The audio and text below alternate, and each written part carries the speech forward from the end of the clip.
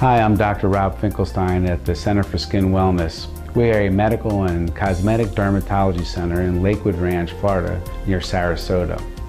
We have created this video series to talk about some of the more common skin conditions, as well as go over some of the new treatments used for these skin conditions. Today we are going to discuss laser treatments used to treat a variety of skin conditions. At the Center for Skin Wellness, we utilize a system called the Lumenis One. It is used to treat freckles, dilated blood vessels, sun damage, and a variety of other skin conditions.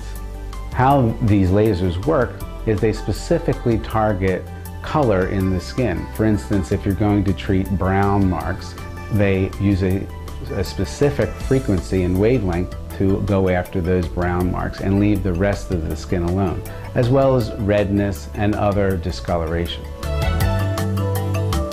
The advantage of using this system is that we can treat these conditions and have the patient come into the office and leave and have very little downtime with quite dramatic results.